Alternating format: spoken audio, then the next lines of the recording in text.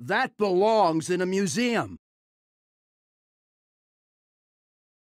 Oh, no. despite the fact, I mean, it's the worst deck to play that against. Uh, but Doomguard alone discards a lot of really premium cards. Yeah, uh, I mean, Billy B's best hope here would be, you know, for this particular turn, Doomguard discarding his things that are not Doomguard. Right, and so then he can play Doomguard next turn. play the second one, maybe pick up a one drop to I mean, go with so it. many of his cards, again, he's just going to go with that, and he keeps Oh! Doomguard. Oh, you see a smile come across his face. That's the perfect, the perfect setup here.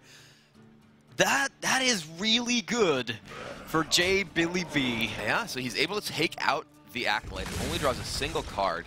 Uh, Terrence finds Whirlwind. It's So rather he- good, he but it's could- only one page. Yeah, and, I mean, now he doesn't currently have any way to actually deal with this Doomguard, and there's a second one waiting. Yeah, I must say, I think maybe playing the, uh, like a ping on the Doomguard followed by Wild Pyromancer just to get something on the board, and then maybe your board will be able to address his Doomguard. Not knowing, of course, that there's another one in the back end, um, it probably is the best line of play. You want to get something down here. Yeah, and that's exactly what Terrence decides to do. He wants to chip away at that Doomguard's health. Uh, but right now, possess- Oh, another no. perfect, another perfect draw. He actually has a one drop to play alongside the second Doomguard.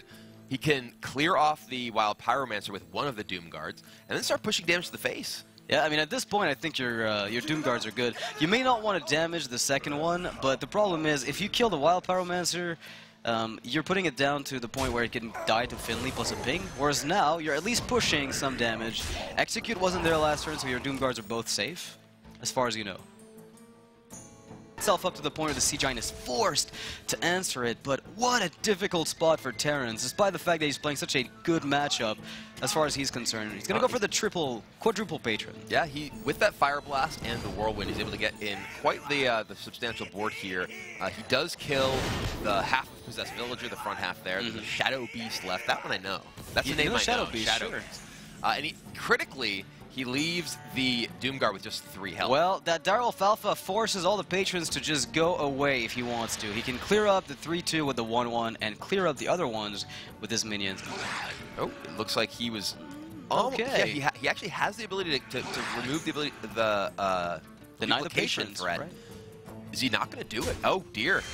That that is. That- I mean, he might push 13 damage right now. It's not Yeah, necessarily he, too he bad. could just be going to the face, but with with Direwolf Alpha, he had the ability to kill the two health patron, Absolutely. which would have prevented Terrence from being able to duplicate it all. Oh, I think that was a slight misplay Yeah. this turn. There was really no reason not to kill the 3-2 instead of the 3-1, uh, especially if you were going to play Direwolf Alpha as a result of the following turn. Yeah, so this actually, Uh-oh. oh dear, and Oh, the, the, the ghoul as well. You can drop the ghoul, which allows patron to kill the sea giant, and then he still has the ping to make another patron. Yeah. And Oh, he's actually not going to not to make another patron. He's actually just going to kill the Direwolf Alpha. Okay, uh, so send some damage to the face. So- very, very tough position here for J. Billy B, who's got really no way to come back in.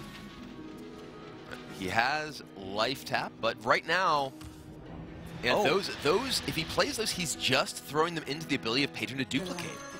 Right. He's he's throwing them into the ability to duplicate. But at but, the same time, he has he has nothing, n- no other options really. yeah.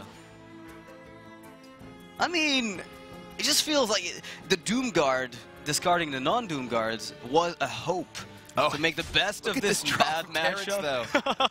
Oh dear, Uh. battle rage from Terrence. to see me drawing. I mean, this is just so difficult to handle. This is this is a five-card battle rage on a board full of grim patrons. Oh, the value. Oh, Oh, another battle rage. oh, the evil battle oh rages. dear, and even even armor smith too, which gives Terrence the ability to pad his life total with armor here as well. This is this is a spot that it, it, it may just be impossible for J Billy B to climb back from. Yeah, and before Doom, ten just a comeback mechanism. Suddenly is- just appears out of nowhere in his deck. Suddenly Doom.